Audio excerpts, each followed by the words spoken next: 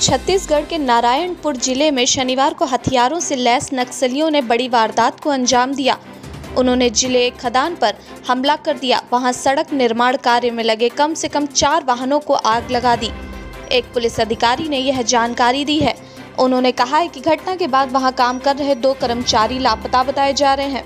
नारायणपुर के पुलिस अधीक्षक मोहित गर्ग ने बताया कि यह घटना छोटे डोंगर थाना क्षेत्र के आमदई खदान क्षेत्र की है।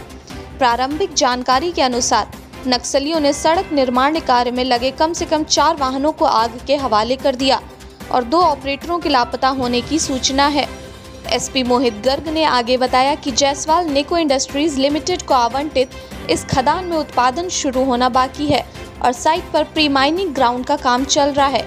घटना की सूचना मिलते ही सुरक्षा बल मौके पर पहुँचे और उनके और विद्रोहियों के बीच मुठभेड़ शुरू हो गई।